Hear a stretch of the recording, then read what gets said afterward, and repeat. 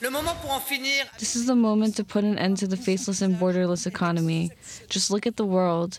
Everywhere from Donald Trump's America to Narendra Modi's India, from Xi Jinping's China to Theresa May's Britain, the economic patriotism is winning. Look at the tens of thousands of jobs repatriated. In the US, companies are relocating, jobs and factories are being reopened. We are done with the illusions of free trade and naive globalism. Meanwhile, more than 60 politicians said they could no longer support Republican candidate Francois Fillon, who is facing charges for the alleged embezzlement of public funds. Let's go to Paris now. Let's go to Bloomberg's Caroline Connan. She is standing by.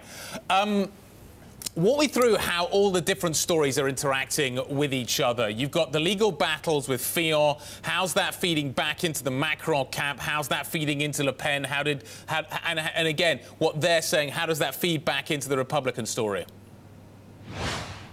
So technically, the legal battles are having a big impact on François Fillon. He lost about five points uh, since the first investigation started at the end of January. It's having virtually no impact on Marine Le Pen uh, because the supporters of Marine Le Pen, her base, uh, already feels persecuted by the system. So they already feel that the judges uh, are trying to attack uh, their candidate. And of course, it's boosting the chances of Emmanuel Macron, who kind of sound like the reasonable one uh, in all this. If you look at the latest poll we had this morning from ELA, Marine Le Pen is stable at 27%, and Emmanuel Macron is at 24%. Uh, in the runoff, uh, this uh, poll was actually from yesterday, but we had more recent number.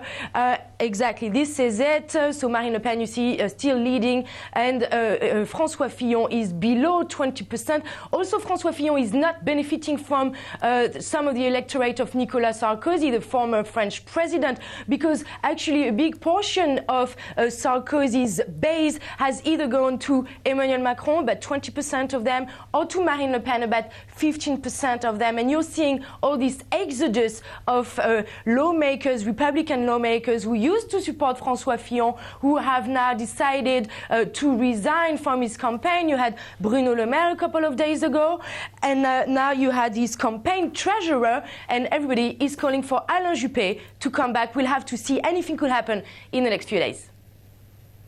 Uh, Caroline, Alain Juppé has said he doesn't want to be um, the runner up here. Do you think he'll step in if needed? He would probably step in if needed on only one condition if François Fillon agrees. So basically, he doesn't want to put in jeopardy the process of François Fillon's uh, nomination, which was a democratic process. The Republican primaries, primaries that were held uh, in November, Alain Juppé uh, came second. So Alain Juppé uh, has repeatedly said he doesn't want to uh, be a backup plan, but that could change, of course, if François Fillon uh, asks him to replace him. To replace him.